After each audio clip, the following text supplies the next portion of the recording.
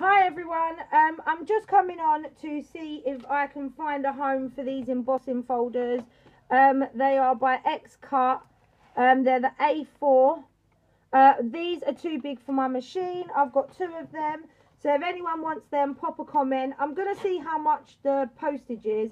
If it's only cheap, I'll just cover it. But if it's, you know, a couple of pounds and stuff, because postage can be expensive, then uh, I'll discuss with the person maybe you know, we'll sort out the postage. But they are very, very large. They're X-Cut. I've got two of them and they are looking for a home. Um, there's no point them sitting in my crafting room waiting or just sitting there, sitting idle. So if anyone wants these, please pop a comment. And don't forget to thumbs up and like and subscribe my videos. Thank you, everyone. Bye.